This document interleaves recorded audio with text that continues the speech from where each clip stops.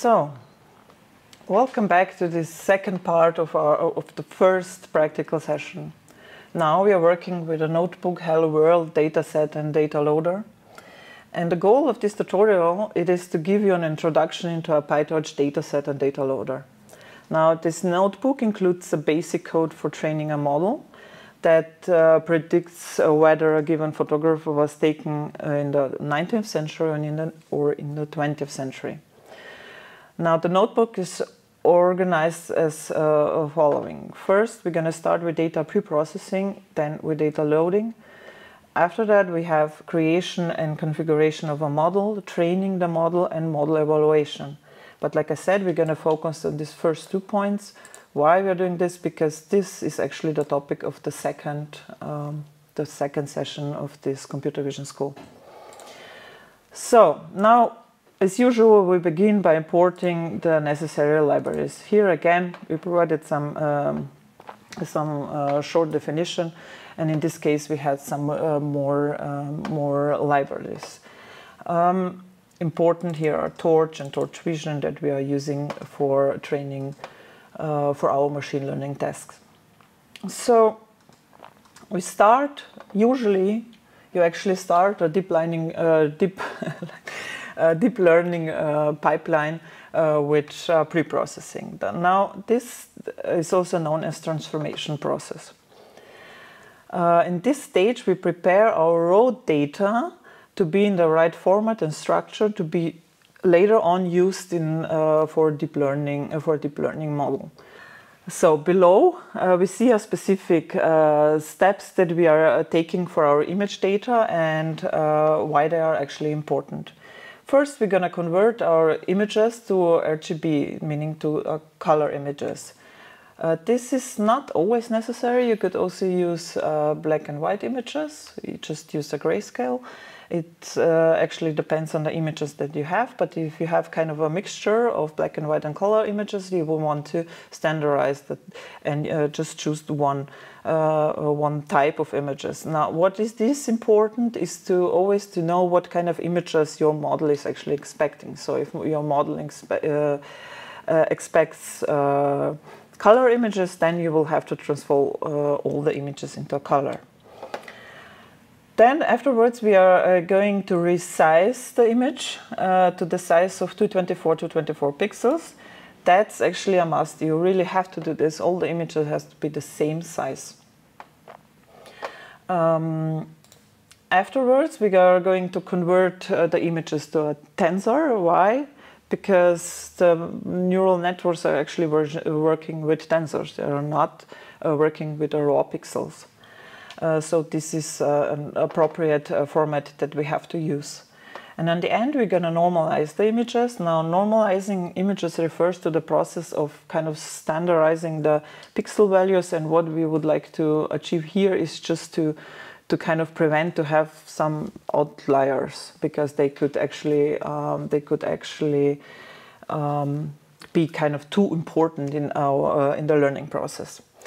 So how do we do that? We need just four lines of code. It's kind of very easy. So first we convert all the images to color images, then we uh, resize the images, then we transform them to tensor and we normalize, uh, and in the end we normalize the images. Now here I have a very quick uh, side note uh, about input shape. Uh, why do we have this? Because uh, you probably are going to see quite a lot of uh, error messages saying input must have the same shape. So what is actually this shape? The shape refers, uh, we are speaking here about the dimension. For instance, uh, a color image uh, with a size of 224 to 24 would have dimensions, uh, dimension would have a shape 224 to 24 3 or if we are uh, free is actually uh, for meaning free uh, color channels, in our case red, green and blue. Uh, in every case red, uh, red, green and blue and if we would use a grayscale we would have a number uh, here a number 1. So now that our transformation has been defined and also already, right? Yeah, exactly. So we're gonna take, uh, we are kind of ready for the next step. And this is to prepare uh, and load our images using two important components uh, provided by PyTorch. Uh, these are a dataset and data loader. Now, here in this notebook, we provided two blocks of code that actually achieve uh, the same goal. They both both actually load the data, but they do it in a kind of a slightly different manner. In option one, you're gonna see here, and the option two uh, below, we are using a pre-built PyTorch class known as image folder. And in the option uh, one, we are creating our custom class. So now for, uh, I think that is great idea to know both these both possibilities and at the beginning maybe uh, the using the image class, uh, image folder class, it's a bit easier. Uh, but the reality is that at, uh, that the most of the usual way it is to create uh, your own custom class because this gives you much more flexibility than the pre-built, uh, pre-built class. So now below, um, here below are some resources if you want to know more, uh, more about uh, these both possibilities. But now um, let's just clarify what is actually the difference between the dataset and data loader. This kind of sounds very similar, at least uh, for, for, me, uh, but they do differ. A data set is actually a data, it's actually our data um, uh, that we're gonna later on use to train our, our model on, but pre-process in a certain way. Now in our, in our case, this is the pre-process that we actually defined. Um, if we would like to uh, train our model on the whole data at once, this is actually a very bad idea. It's a total, it's actually a no-go because this is very memory intensive and very inefficient. So a better way or the right way to do this is to use uh, um, batches. Batches are actually small chunks of images and batching allows then our model to train always just on a portion of the whole data set at, at the time. And this is actually this actually reduces the memory usage and, and it is actually uh, indeed uh, training is much more effective. Now in practice, the, this to do that, we are using data loaders. Now in practice, this uh, data loader generates the batches for us, but also makes it kind of very easy to, to create this training loop because otherwise we would have to code this manually. Now, however, in, in data loader, it, it is not like that we can just take uh, load kind of all the picture directly uh, pictures uh, images directly to the data loader. That's uh, not possible. First we have to uh, convert them to a specific uh, format. So this long story short it would be that in we prepare our data using a data set and then we pass this data set or data loader, which then handles the batching and the loading the images into the model. So I really hope this was clear. Um, now for the option one, here we have uh, some steps we are going to take. First, we're going to define the path, the directory containing the images. That's here. I haven't even shown you, but the images are actually here. Um, afterwards, we're gonna set the batch size and the labels. Uh, we're gonna uh, load the image data from the, this specified directories and we're gonna process it. In this case, uh, this is uh, the result of it is going to be a PyTorch dataset, but a one dataset for all the image uh, for all the images. Afterwards, we're going to divide this dataset into two uh, sets one, it will be a training set, and uh, the uh, the second uh, we call it a test set. Sometimes it's also called a validation set. Now, to get um, to do that, we're gonna first get a, a number of items, so number of images in our data set. Then we're gonna generate a shuffled list of these uh, images. Why we are doing this? Because we are actually uh, our images are actually separated in two different uh, directories. So when if we want shuffle the, the order, it will probably happen that we're going to have all the images from the first uh, uh, we're going to have all the images from the first directory in uh, train model and maybe some from the second directory and our test model will contain just the images from the uh, second model and that's of course uh, not the way to do that uh, to do this. So after that we're gonna again split just these in indices at first into training and a test data set. And afterwards we're gonna create the, those two data sets. Now in code this looked like this. It's kind of very short i would say. First here is our path uh, to our images Oh, one more very important thing. If you are using this option one and image folder, then the, the structure of the folders, it has to be as it is in our case. You always have to have the images separated by, in, in different uh, directories. Uh, the other version, uh, the, the other possibility I have mentioned before with this uh, having all the images in one folder and the corresponding CSV file, this would not work in this case. So here we just defined uh, batch size and labels. Uh, we actually hard code the labels name. This, uh, the better way it would be to read kind of uh, to read the name directory names, but it's okay. Um, here is our we are defining our uh, data set. So the the data set containing all the images. We use the uh, we're going to use the image folder class, as I uh, mentioned before, image directory, so the, the where our images are, and the transformation uh, process. This is actually the process, the pre-process that we define uh, above. So now that our data set is ready, we're going to take the next steps to divide them into a training and test data set. To do that, like I said, we have to shuffle, to uh, shuffle the images, and that's what happened here. Exactly. Afterwards, we're gonna now we uh, we said we're gonna take the first 800 images for our training set, and the rest we're gonna set uh, uh we're gonna ta uh, take for our test uh, set. Um, the last step it is to create uh, to create a data set. It is also kind of very simple. We use the uh, class subset. We we take the, all the indices. No, we pardon. We take the original data set uh, containing all the images and the indices uh, uh, how we would like to uh, split the data set. Okay, now let's just wait, or no, maybe I'm, I'm just gonna run this. And afterwards, now we come to the option two.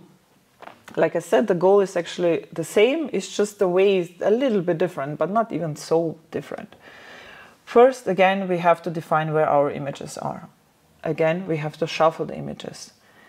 In this case, we do it a little bit differently, but the result is the same. We split the shuffle pads into training pads again, and first 800 and the test pads. Uh, and we define the labels, uh, the same as we did before. Afterwards, we create our own class. We call it Century DS, so for Century dataset.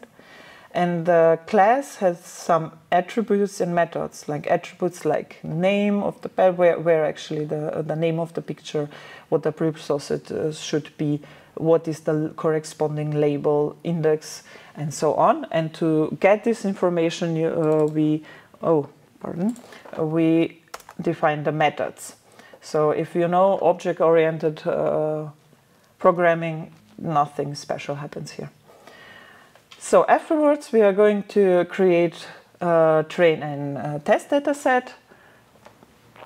And uh, we are going also to define the batch size. That's of course something we could do somewhere um, before. It's so let's see how this looks in code. So it is.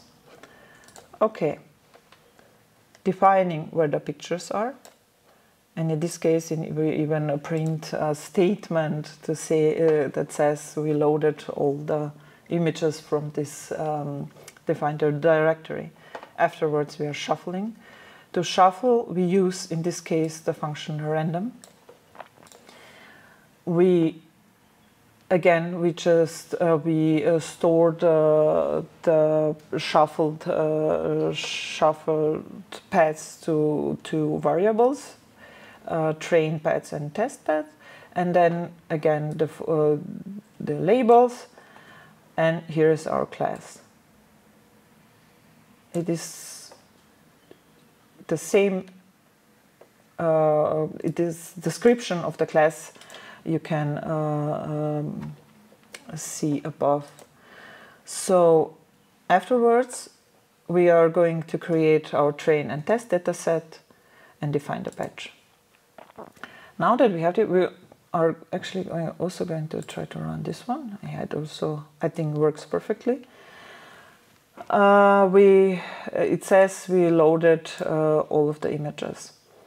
Now, afterwards, we want to create a data loader. Data loader, we can create a data loader in just two lines of code. Um, we are creating a train data loader with a data loader um, and we use the train dataset the created here now in our case or here of course, you you won't use both of uh, both uh, both of them, but actually it doesn't really matter.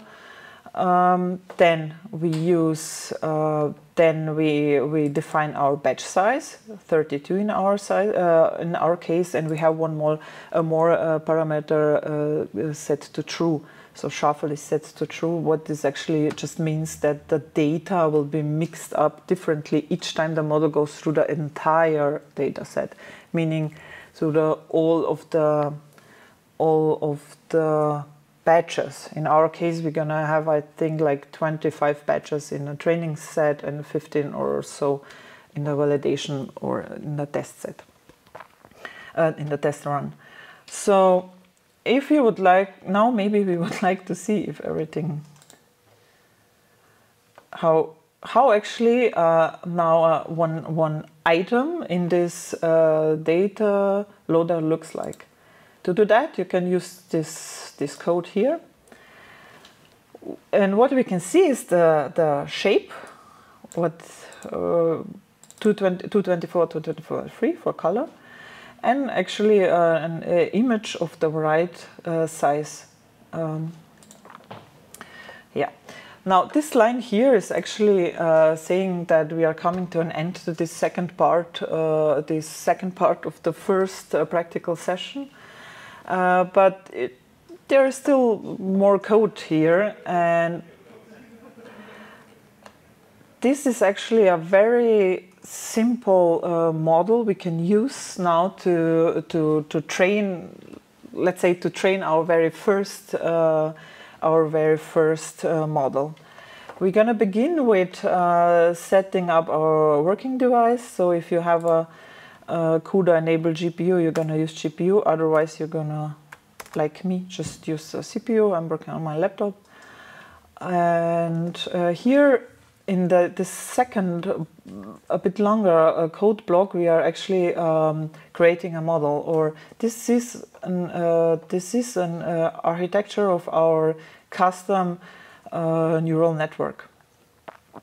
But uh, you're gonna hear more about it in the in our second session. Now we're gonna just quickly go to the next code block where we are defining the optimizer and the last function, and then which uh, define the train and evaluation function. Now the train function uh, is actually uh, trains a machine learning model for one complete pass over the dataset, so meaning for all the batches.